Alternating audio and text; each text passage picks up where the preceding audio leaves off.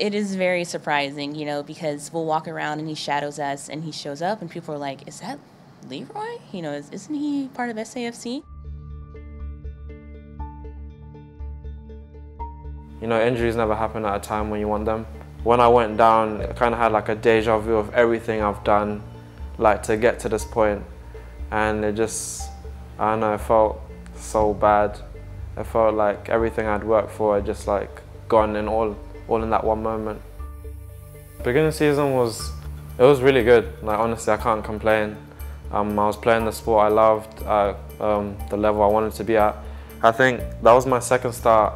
Like literally, I'm coming to the second half, had a good first half, and then like 10 minutes in, like Jack has switched the ball um, from the right side to the left side. I've seen it, controlled it down, and literally I've taken a step and just felt like a pat at the back of my foot. And like when I went down, like I knew because I've heard people talk about the Achilles and like how it happens. The journey is more mental than anything. You know, the physical, once the surgery is done, you know, the doctor has done his part and it's up to you to get uh, going with a physio. But the mental side of going in every day and at the beginning you're doing the same things all the time. Repetition, repetition, and it, it gets boring. It mainly sparked from like, I didn't want to like feel like I wasted the year.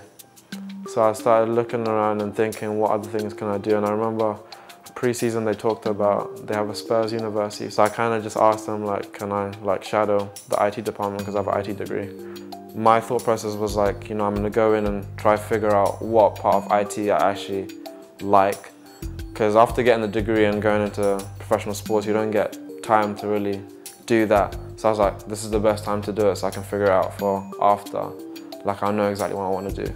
Working with Leeroy, it's been a fun experience. He definitely mixed in uh, right away. He's eager to learn, willing to learn, um, willing to be coached on the field and basically off the field. So it's kind of neat to have that close proximity to somebody that you know is technically a professional athlete, and the fact that you know he comes in here, he doesn't act arrogant, he doesn't act like you know he's higher than anybody. He you know he feels his role here very well. I want to live a life where I can do all everything I want to do at one time.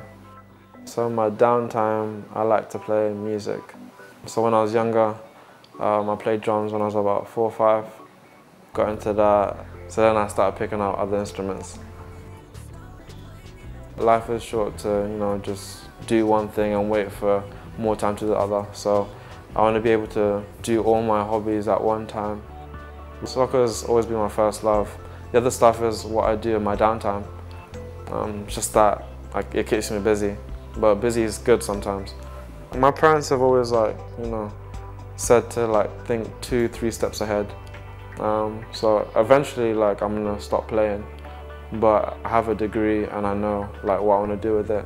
So in everything that happens, you you want to take the positive out of everything, even though it's a bad injury and I didn't want it to happen. But you know, every day is a day to like do something new.